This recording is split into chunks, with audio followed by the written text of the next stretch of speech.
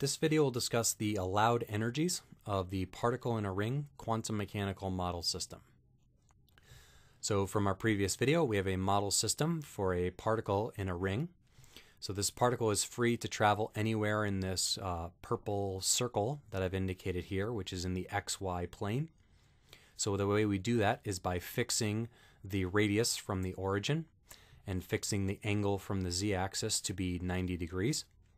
And then our particle can be measured by its angle in the xy plane, which is the spherical polar coordinate phi, which can go from 0 to 2 pi, 0 to 360 degrees.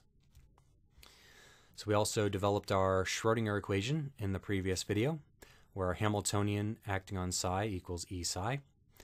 So that's minus h bar squared over 2 times the mass of the particle times the radius of our circle, radius of our ring, times the second derivative of the wave function with respect to phi. I think I need a d phi squared there. Let's throw that in. All right. Okay, equals e phi. So now I'm going to rearrange this to where this uh, second derivative is by itself on the left-hand side, multiplying by the inverse of this value. So I have d squared psi d phi squared equals negative quantity 2mr squared e over h bar squared times psi. So what we have here is that the second derivative of a function is equal to a negative constant times the function again. So we have 2 times the mass is a constant, the radius is constant, the energy is constant, h bar is constant. So everything inside this term is constant, and everything is also going to be positive as well. So this is a positive constant that we've got. Okay, so when you have a function that looks like this, the second derivative of a function equals a negative constant squared times the function. From a differential equations course, the typical kinds of solutions for this behavior, you could either say are, kind, are sines and cosines, or you could say are complex exponentials like e to the ikx. So psi of phi here, one uh, applicable solution would be psi of phi equals e to the plus or minus i k phi. All right, so if we take the derivative of this, you get the same function pulling out an i times k from the chain rule.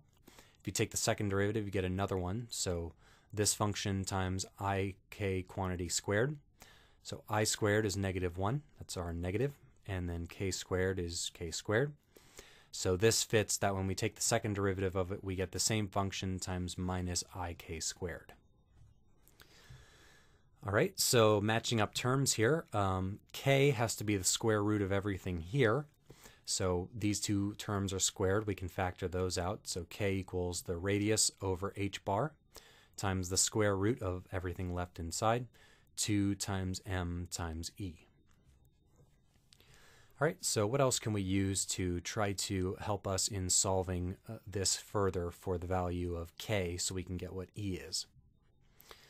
All right, so we know that in this ring, the system is periodic. So if we go around 360 degrees, we're going to end up back in the same spot again, so our wave function better be the same as it was 360 degrees ago. So we can represent that mathematically by the following. Psi of phi plus 2 pi, 2 pi being 360 degrees, equals psi of phi. All right, so if we substitute this in to our expression here, substitute in phi plus 2 pi for phi, we have e to the ik phi equals e to the ik phi plus 2 pi, which we can distribute this exponent and then factor it to be that equals e to the ik phi times e to the i 2 pi k.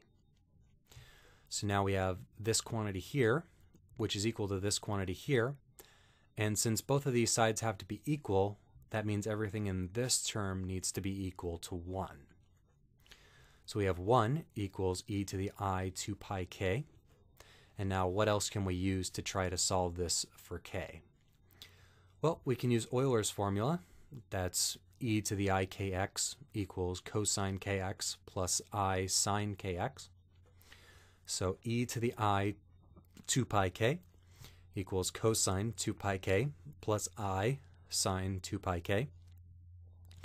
Now if we look at this, this value on, on the right hand side here has to equal the value on the left, 1. And since this side, this term is imaginary, it has an i in it, this term has to be 0. And since this term is real, this term has to be equal to 1. All right, so we have sine of 2 pi k has to be 0, and cosine of 2 pi k has to equal 1. So we're asking ourselves, what value of sine is such that we get a sine of 0? Well, sine starts at 0 at 0, goes up to 1 at 90, goes back to 0 at 180 degrees, or pi radians, goes down to minus 1, and then at 2 pi is back up to 0. So at every value of pi, our sine is going to equal 0.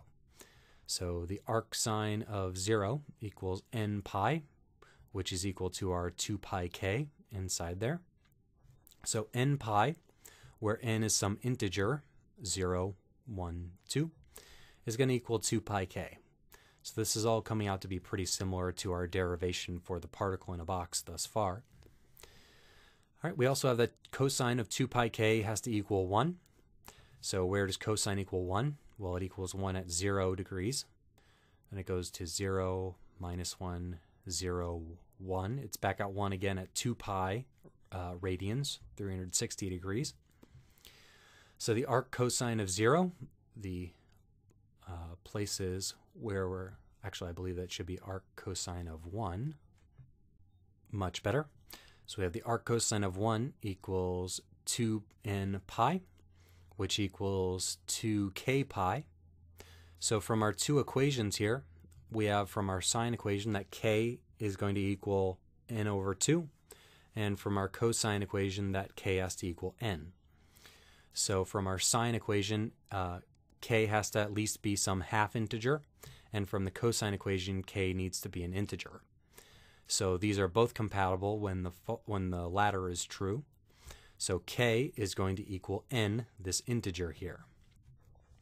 So we have n, some integer, equals r over h bar times the square root of 2me. So squaring both sides and multiplying by h bar over r. We have h bar squared n squared over r squared equals 2me. Or finally, that our energy as a function of the quantum number n is equal to h bar squared n squared over 2 times the mass of the particle times the radius of the ring squared, which if we take this in terms of h instead of h bar would also equal h squared n squared over 8 pi squared m r squared, where n can now equal 0, plus or minus 1, plus or minus 2, etc. Any integer is a valid solution of this equation. So this looks pretty similar to the particle in a box. We have the h squared, n squared, r squared, m. That's all pretty similar. The only difference is that uh, we have an extra pi squared in here um, from the fact that our system is going to be periodic. And also that our n, which starts at 1 for particle in a box and goes up, is now not restricted in that sense. It can be any possible integer 0 plus or minus 1 plus or minus 2. So our ground state will end up being singly degenerate, um, and then all of our other states will be doubly degenerate because plus or minus 1 squared is 1, plus or minus 2 squared is 4, plus or minus 3 squared is 9. Each of them is going to have a paired value which is going to have the same energy as it. And we'll explore more of that as we get deeper into this chapter on particle in a ring. But for now, these are energies which are pretty close to the particle in a box, except for those very small exceptions that we've noted.